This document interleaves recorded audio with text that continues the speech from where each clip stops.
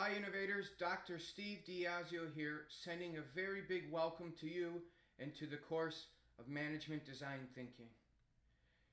Starting this course reminds me of when I started and went through the MBA.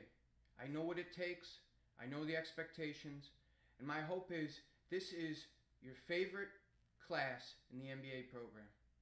I've worked really hard in trying to translate the management design thinking methodology and the experiences that we've had running it in a one week session to this online format. Now, the several times that we've run it, we've had a very positive response, and my hope is that we continue this momentum.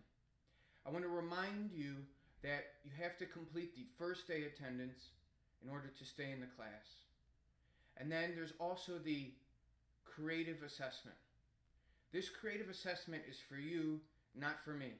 It is to help you start thinking differently, to challenge the current mindset, the paradigms, the mental mo- models that you're using, help you explore a different side of thinking, and to help frame the type of mentality and flexibility you're going to need for this course.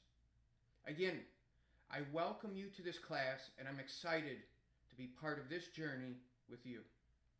I look forward to the solutions that you provide in the design challenge and to take this journey with you.